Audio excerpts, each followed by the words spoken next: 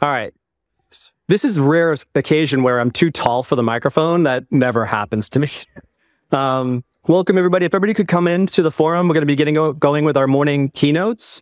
And then from there, we'll be going into breakout sessions and then to lunch, back to keynotes, back to breakouts. And then we'll finish the day with some keynotes and a special presentation, uh, a cybersecurity mixology presentation which we've never done before. I don't know if anybody else has ever done before, but we're excited to do it this year.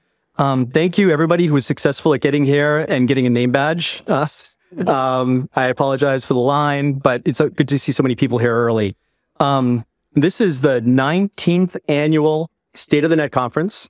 Um, so we've survived nine, well, 18 of these, and we hope to survive this one and have a 20th next year. Um, the original conference was in 2004 you can imagine what the issues were back then. They weren't too dissimilar for what, what we talk about here today. It's always kind of the same thing, but just different flavors. This year is very exciting. We have a lot of Section 230 and content moderation issues in play.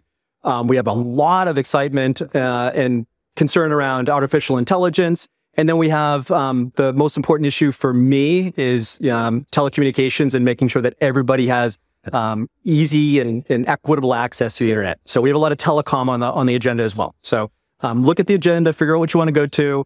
There's kombucha and cold brew all day.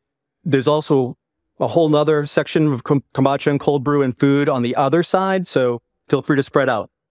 Um, if you got here early, please make sure you come and get your commemorative um, state of the net beer glass. Um, here it is. I've been told that beer tastes better in this glass, but you'll have to try it at home. But don't forget to get one on the way out because I don't want to take it, take any of them home with me. So I'd appreciate that. Um, with regard to State of the Net, it's a place where the internet policy community has been getting together since 2004. We, as an organization, are generally agnostic. We're enthusiastic and very excited about internet. Always have been since it was the organization was created in 1996 but we kind of don't take any positions or policy prescriptions. We're very, we're very agnostic.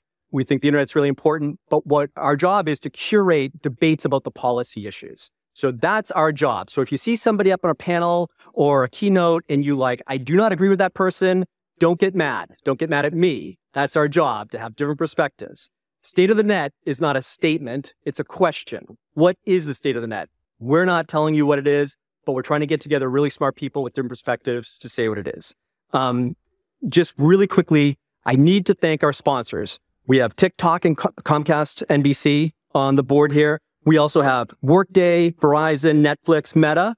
We also have AT&T, Lumen, Twilio, Amazon. And this kind of shows you the breadth of like the internet policy community that gathers here at of the Net. We also have ActDefense, NCTA, Public Interest Registry, Okta, INCOMPAS, Booking.com, Network On, and Monument Advocacy. I also need to give a shout out to the Internet Society, which is sponsoring with doing the live stream. So we'll have thousands of people watching from home, um, all three different breakout panels. And then we also were very fortunate that Glen Echo Group, headed by Mara Maura Colleton Corbett, um, has pro bono offered their services to help us with the crushing amount of media and social media and things like that. So we're very grateful to